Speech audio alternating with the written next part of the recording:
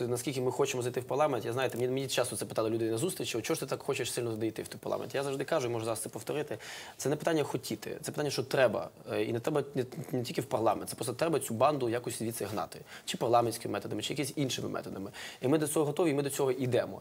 Е, і якщо ми побачимо, от, от щодо власне кажучи, суті вашого питання, якщо ми побачимо, що е, через позицію суддів, через позицію центральної виборчої комісії, через позицію влади загалом, якщо ми побачимо, що зараз ем, неможливо буде якось впливати, е, якось погнати цю банду знов таки, от я такий вираз використовую шляхом па- парламентським методом або шляхом е, прийняття мандатів і заходження в парламенті і парламентської боротьби, то можливо нам треба подумати про якісь інші методи. Але е, правильно сказав колега в тому плані, що це початок консультації. Тобто це треба вивчити всі юридичні можливості, чи дасть нам щось це, чи не дасть нічого. Тобто ми маємо побачити, це чи реально це буде ефективно. І якщо ми побачимо, що справді шляхом незаходження в парламент, якщо це взагалі можливо, ми зможемо умовно кажучи, наприклад, визнати цю Верховну Раду не- недієздатною, недійсною і змусити зробити перевибори, тоді справді це е, сценарій, який має право на життя, і ми будемо готові це розглядати. Тому що ми ніколи не хапалися за жодні мандати, за жодні якісь посади і так далі. І е, знаєте, чекали 20 років, щоб отримати фракцію в Верховній Раді,